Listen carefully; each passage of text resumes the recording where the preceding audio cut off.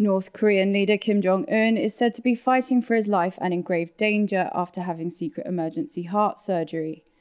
US sources claim to be closely monitoring his health after he underwent a complex cardiovascular procedure earlier this month. One senior White House reporter for Bloomberg said she's been told Trump officials are already looking into who would be in line for succession.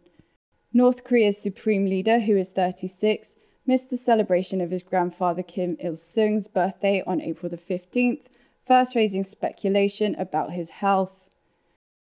Reports say he was last seen publicly on April the 11th at a government meeting. The Daily North Korea report Kim's health deteriorated in recent months because of heavy smoking, obesity, and overwork. They say he's recovering from surgery in a resort town in North Pyongan.